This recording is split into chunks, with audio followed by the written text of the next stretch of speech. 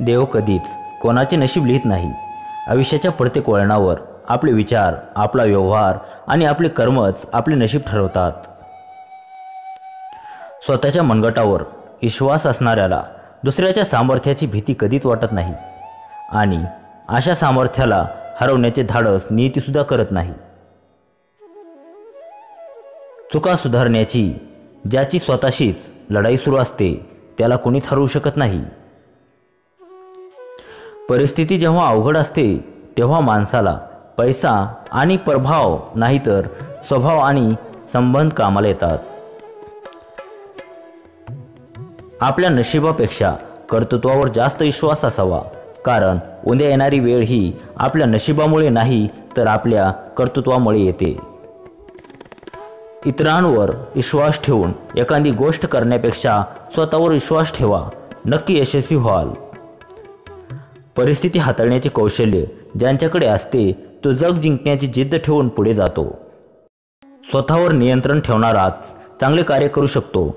ज्याने क्रोध जिंकला त्याने सर्व जग जिंकलं असं समजावं. दुःख प्रत्येकालाच असतं पण जो दुःखातही सुख शोधतो तोच खरं जीवन जगतो. आपण जेव्हा एकटे असू तेव्हा विचारांची काळजी घ्या आणि जेव्हा लोकांसोबत असू तेव्हा शब्दांची काळजी घ्या.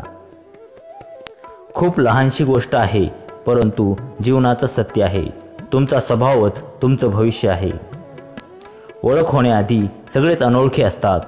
मन एकदा जुळली की सहज आपले होतात यालाच आपले जीवलग म्हणतात.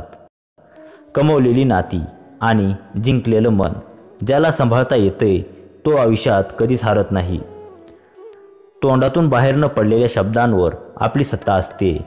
तोंडातून शब्द बाहेर पडले की त्याची तुमच्यावर सत्ता चालते. रक्तापेक्षा अश्रू श्रेष्ठ असतात. कारण शरीराला जखम झाली तर रक्त बाहेर येते पण अश्रूला बाहेर येण्यासाठी मनाला जखमी व्हावे लागते. एखाद्याला खोटे आश्वासने देऊन मन दुखवण्यापेक्षा खरं बोलून विश्वास राखणं चांगलं. माणसाचे मोठेपण त्याने किती माणसे मोठी केली यावरून मोजता येते. तडजोड हे आयुष्याचं दुसरं नाव आहे. मिळालेल्या आनंदाचा आस्वाद घ्या.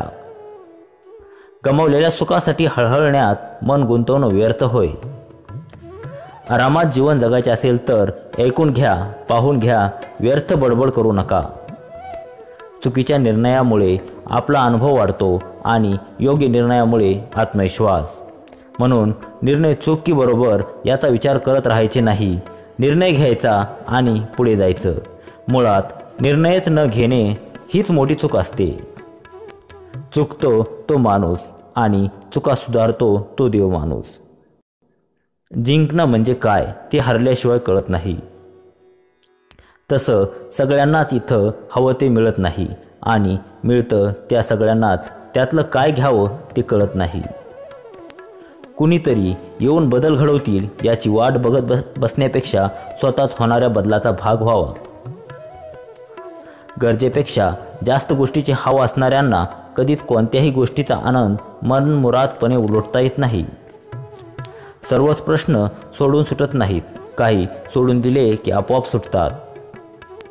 जेव्हा नख वाढतात तेव्हा आपण त्यांना कापून टाकतो. नख का वाढली म्हणून बोट कापून टाकत नाही. त्याचप्रमाणे जेव्हा तुमच्यात गैरसमज होतात तेव्हा तुमच्यातला अहंकार कापा. तुमच्यातल्या नात्याला कापू नका.